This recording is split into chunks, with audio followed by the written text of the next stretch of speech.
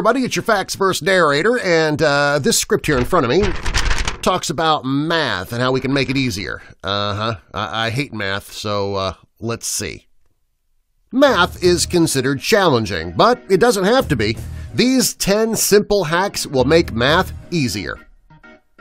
Easily convert Celsius to Fahrenheit, or vice versa. Working on a chemistry project, working with a foreign recipe, or using a foreign recipe, or for anyone in the U.S. who may at some point find themselves having to use the metric system, to convert Celsius to Fahrenheit, multiply the temperature by 1.8 and then add 30. To convert degrees Fahrenheit to Celsius, subtract 30 from the number and then divide by 1.8. Remember pi. The secret to remembering the first eight numbers of the sequence for pi is this classic mnemonic device. Use the phrase, may I have a large container of coffee to remember the numbers by counting the numbers in each word. May, which has three letters, I has one letter, have has four letters, and so on. Add and subtract fractions with little conversion necessary.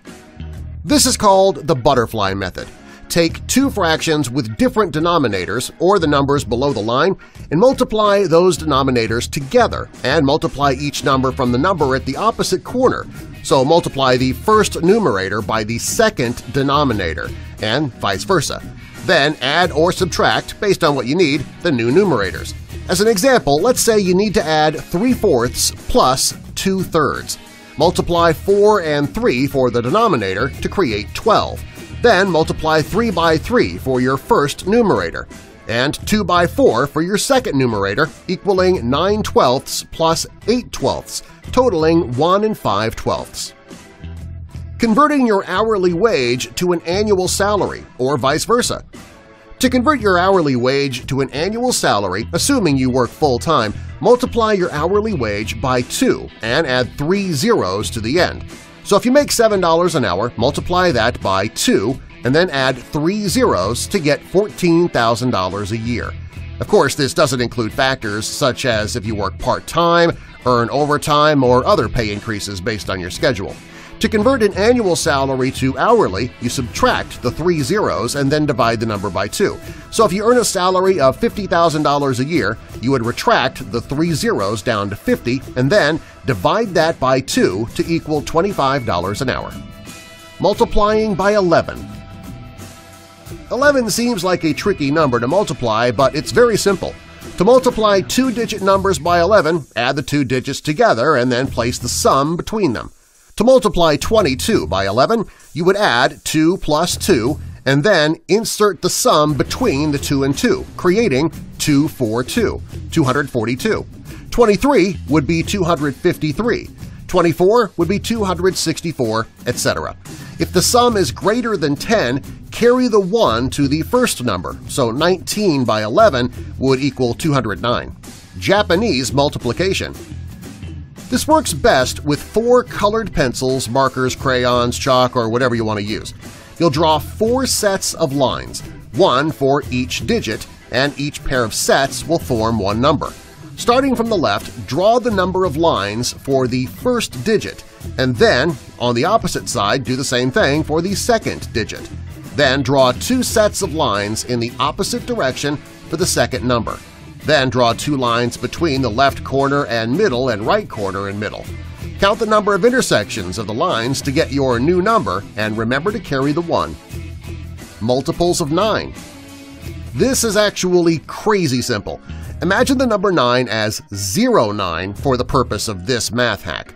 As you increase multiples of 9, the first digit will count up from 0 and the second digit will count down from 9. This works all the way until 9 times 10, multiplying numbers that are under but near 100.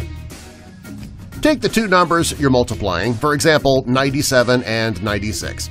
Subtract each from 100, giving you 3 and 4. Multiply 3 times 4 and you have 12. Write that down and put it to the side. Add 3 and 4, giving you 7, then subtract that from 100, giving you 93. This answer gives you 9,312. Check with your calculator if you don't believe it. Subtracting the sum of the difference of the first two numbers from 100 gives you the first two digits of your number, and the product of the difference of the first two numbers gives you the second two digits. Easy way to find percentages of large numbers. If you need to quickly figure out a percentage of a large number, here's a simple trick to figure it out. Drop the last digit from the larger number and then multiply that number by the first digit of the percentage. As an example, if you need to find 40% of 300, you would multiply 4 by 30, equaling 120.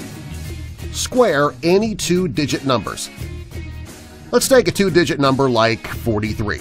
Square each digit, 4 and 3, and then add their squares in respective order. 1,609. Next, multiply the two digits by each other. 4 times 3 would be 12, then multiply that number by 2 and add a zero. This gives us 240. Then add the two numbers together. 1609 plus 240 would be 1849. This gives us the square of any two-digit number. Subscribe for more. And okay, there you go. Uh, I don't know about you, but uh, nah, I, I, I'm still lost. Man, I hate math.